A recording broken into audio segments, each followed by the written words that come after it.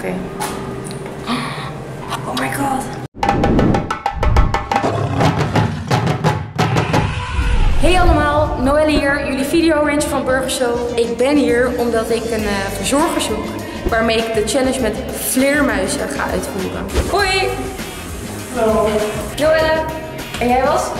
Was Remco. Jij was Remco. Ja. En met jou heb ik de challenge met de dikhoornschapen. Klopt. Hebben we uitgevoerd. Ben je dierverzorger geweest? Ja, welke challenge staat me hier te wachten? Want ik heb al gehoord dat het iets met vleermuizen is dus. Ik heb er eentje bij.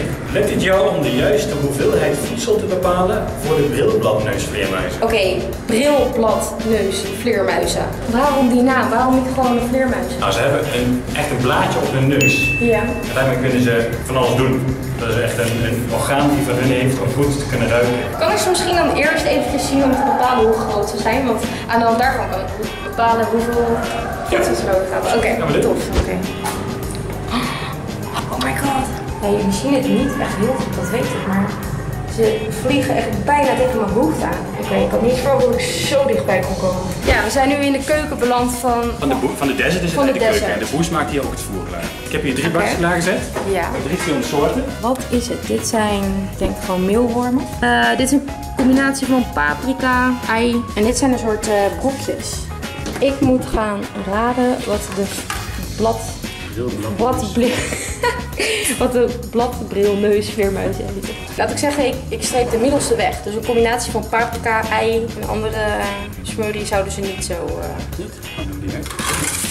Ook. En ik zou echt niet weten of ze deze korrels, die, die snoepjes die jij noemde, weg kunnen krijgen. Wat als ik de challenge niet haal eigenlijk? Als je het niet haalt, dan mag je waar die grotten straks waren. Ja? Mogen die, stalagmieten en die stalactieten, je moet af en toe wel eens met een trapje hoog eh, gaan schoonmaken. Dat wel even doen. Nou oké. Ik geloof inderdaad dat ze insecten eten. Ja. Dus jij denkt dat dit het is?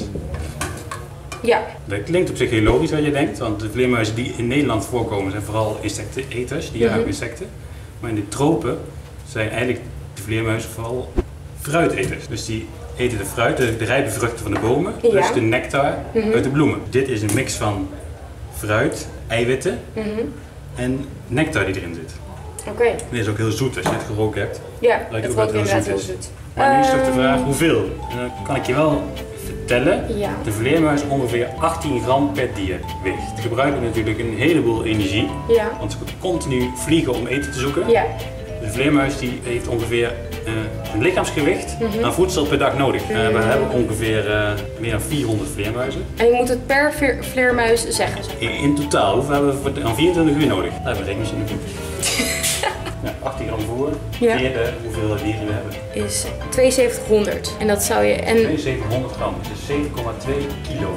Hoe het ongeveer voor 400 vleermuizen. Hoe ziet dat eruit? Nou, ongeveer zo. En dit gaan wij ze dus nu geven. Ja, dat gaan we ze geven. Cool, oké. We hebben nu verschillende bakjes klaar. Dat we het kunnen gaan verdelen door het verblijf heen. Want het zijn er natuurlijk 400. We komen niet allemaal uit één voerbakje eten. We zetten op verschillende plekken in het verblijf een bakje neer.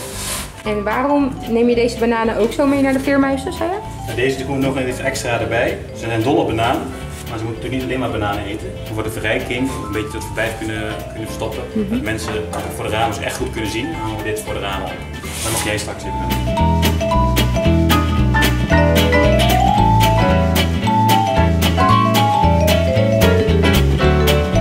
Ja, je ziet het bijna niet, maar ze, liggen, ja, ze hangen echt één seconde niet eens stil aan de banaan. En dan nemen ze een hapje en dan vliegen ze alweer weg. Maar goed, die tegenprestatie moet ik alsnog doen. En wat was dat ook weer?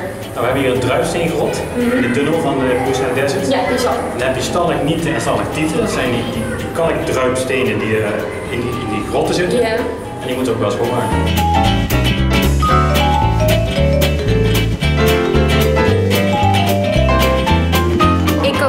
Niet verwacht dat ik zo tussen de eh, vleermuizen kon staan en het voer voor hen kon klaarleggen. Ze vlogen wel echt gewoon door mijn haren. Ik voelde echt gewoon constant hun wind. Maar goed, vond je dit nou een leuke video? Doe dan een duimpje omhoog. Vergeet niet te abonneren op het YouTube kanaal. En dan hoop ik dat je volgende week weer kijkt. Doei doei!